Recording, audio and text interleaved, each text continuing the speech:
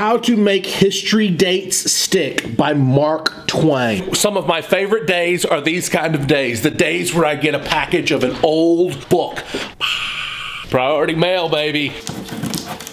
I love these. Oh boy. Whoa! I can work out with this. One, two. This is a book that has some Mark Twain writing in it. Oh my God. You know Mark Twain, he wrote Huckleberry Finn. He got so interested in memory training after he took a memory course by a guy named Professor Loisette. Yes! In here is an article that Mark Twain wrote on memory. There it is! Oh, baby, chapter one. Harper's Monthly Magazine, December 1914. How to Make History Dates Stick by Mark Twain. This is going to be awesome. Written and illustrated, see the cartoons there? By Mark Twain on how to memorize. Look at these illustrations that he's got. I'm to read this and then tell you what I learned. I'll give you a copy of this article for free. All you have to do is click, click the link in the description and and I will give you a copy of this article written by Mark Twain for free.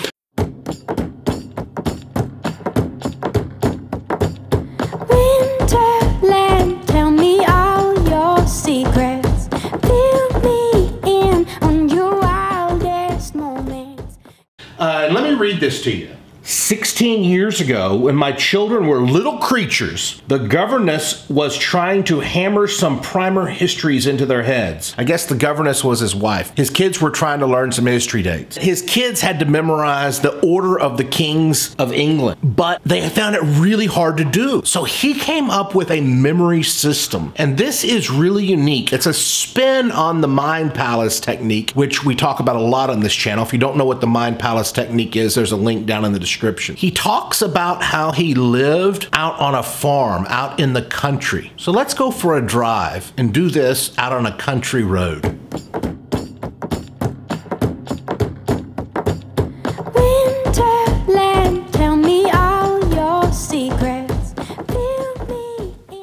So this is what he did. He wanted to teach his kids how to memorize history dates from 1066, William the Conqueror, all of the kings and queens of England. There was 817 years up until that point. So starting on his front porch on his farm, he mapped out 817 feet. The first one was William the Conqueror in 1066. So he had a vase on his front porch and he imagined William the Conqueror on that vase. That was the starting point. And then 21 years later, William Rufus became the King of England. So they marked, since it was 21 years later, since William the Conqueror lasted 21 years, they marked off 21 feet and they put a stake in the ground. I'll show you what I mean.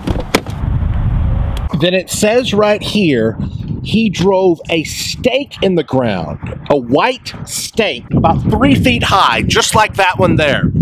On the stake, he wrote the names of the king or queen and the years that they served.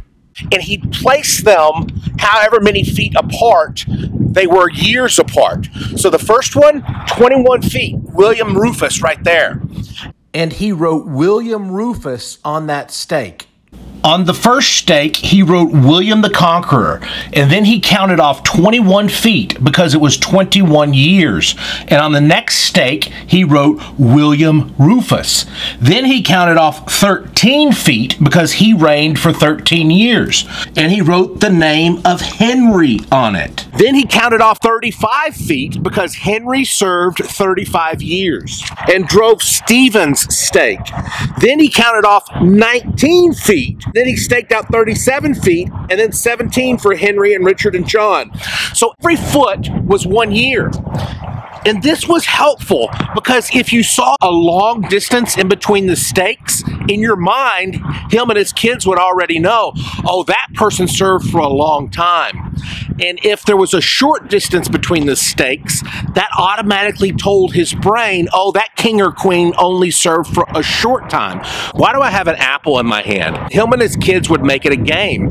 He would throw the apple as far as he could, and wherever it landed, the first kid who could say all the history facts of that stake, that area where it landed, would get the apple. Now, that sounds kind of crazy. It almost sounds like he's treating them like dogs.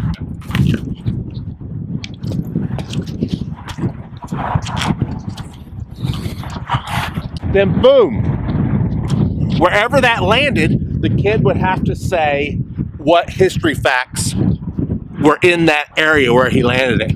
Kind of a fun game for kids. Maybe not. That doesn't sound too much fun. okay, so this is gonna sound really weird, but I don't like heights, so I'm gonna sit right here on my balcony. I'm, I'm clinging to the, the door. Uh, so I don't live in the country. I live in the city. Oh my God, I'm so nervous up this high on my balcony. I, I, I don't ever come out here. I got to get inside.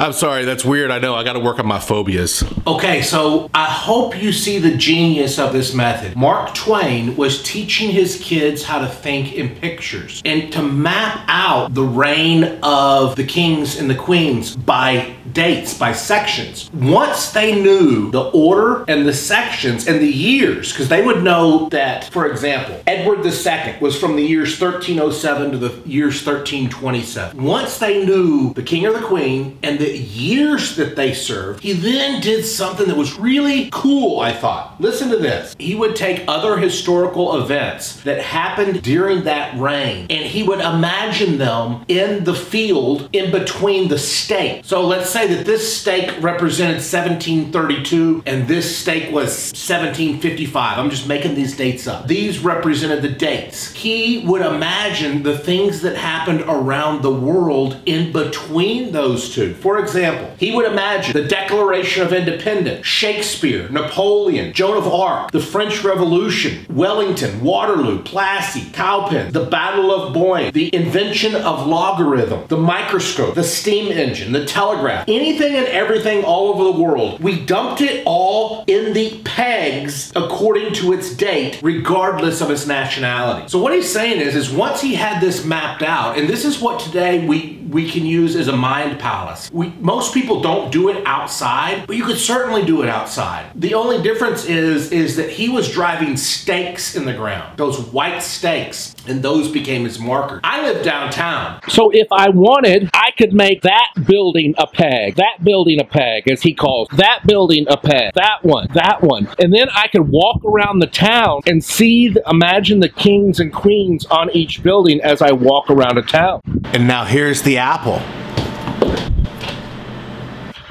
I'm just kidding, I didn't throw it.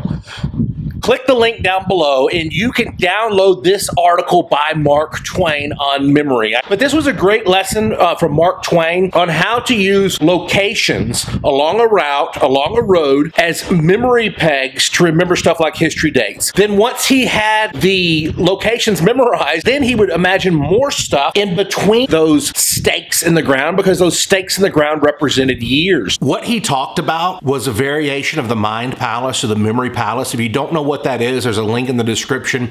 There's a link in the description for my memory course. I have a, a, a long memory course called Black Belt Memory. But also, if you want, you can download this article that was written by Mark Twain. Click the link down below and I will send you this article written by Mark Twain for free. It's in the description. If you liked this video, give me a thumbs up. If you like old memory books, give me a thumbs up. Comment down below uh, if you thought this was a good idea. Tell me your memory techniques. I, I appreciate all the comments. I love interacting with you guys that way.